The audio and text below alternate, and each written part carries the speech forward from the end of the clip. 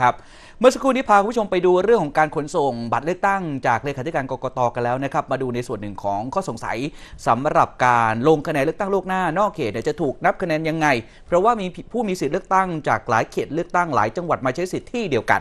โดยบัตรเลือกตั้งล่วงหน้านอกเขตเนี่ยนะฮะแม้ว่าจะมีการเลือกตั้งไปแล้ว แต่ว่าในส่วนของการนับคะแนนทั้งหมดเนี่ยจะถูกส่งไปยังหน่วยเลือกตั้งของผู้มีสิทธิ์ก็คือ ภูมิลำเนาคุณอยู่ที่ไหนนะมาใช้สิทธิ์เลือกตั้งล่วงหน้าต้องกลับไปที่นั่นนะครับจะถูกนำกลับไปรวมแล้วก็นับในวันเดียวกันคือวันที่ 14 พฤษภาคมครับ โดยคณะกรรมการการเลือกตั้งได้กำหนดระเบียบขั้นตอนของการจัดการกับบัตรเลือกตั้งล่วงหน้านะฮะนอกเขตและการนับคะแนนบัตรเลือกตั้งล่วงหน้า นอกเขตไว้หลังจากปิดหีบเลือกตั้งล่วงหน้า 17 นาฬิกาสรุปได้ดังต่อไปนี้ครับ จะต้องทำลายบัตรเลือกตั้งที่เหลือไม่ว่าจะเต็มเล่มหรือไม่เต็มเล่ม จะถูกทำลายด้วยการใช้โลหะแทงกลางบัตรเลือกตั้ง ทะลุทุกฉบับรวมปกหน้าและหลัง จากนั้นใช้เชือกร้อยรูผูกรวมกันให้เป็นปึกเดียวกัน เพื่อป้องกันไม่ให้บัตรเลือกตั้ง ถูกนำไปใช้ได้อีกครับ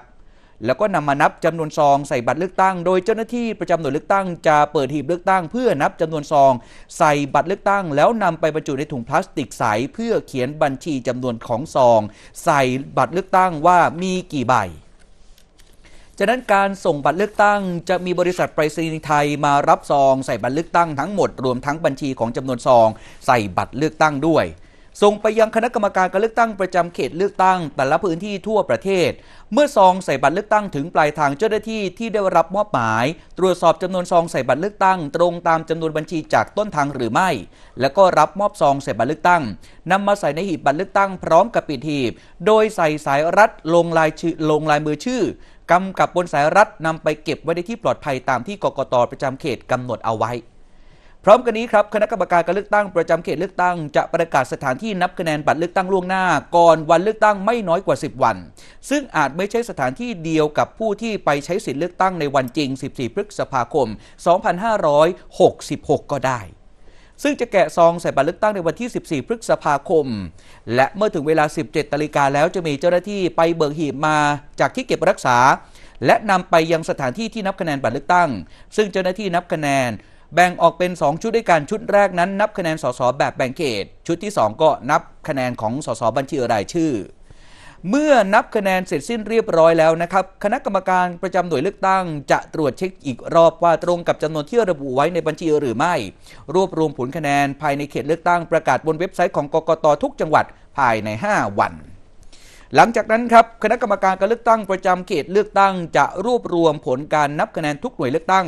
ภายในเขตเลือกตั้งนั้นๆเข้าไว้เข้าไว้ด้วยกัน ได้แก่หนึ่งผลคะแนนจากการใช้สิทธิเลือกตั้งในวันจริง 2. ครับผลคะแนนเลือกตั้งล่วงหน้าในเขต 3. ผลคะแนนเลือกตั้งล่วงหน้านอกเขต แล้วก็ 4 ครับ ผลคะแนนเลือกตั้งล่วงหน้านอกราชอาณาจักร พร้อมกับปิดประกาศผลการนับคะแนนไว้ 3 ชุดเช่น ปิดประกาศไว้ที่สถานที่รวมคะแนน ส่งให้กับคณะกรรมการการเลือกตั้งประจำจังหวัด หรือกกตจังหวัด แล้วก็ส่งให้คณะกรรมการการเลือกตั้ง หรือกกตประกาศผลการเลือกตั้งสสแบบแบ่งเขต และก็สสบัญชีรายชื่อภายใน 5 วัน นับจากวันเลือกตั้ง 14 พฤษภาคม หรือว่าภายใน 19 พฤษภาคม อันนี้คือภาพรวมคร่าว ๆ ประกาศอย่างเป็นทางการ แต่ว่าคะแนนอย่างไม่เป็นทางการคาดว่าจะรู้ในวันนั้นแหละ ไม่กี่ชั่วโมงหลังจากปิดหีบครับ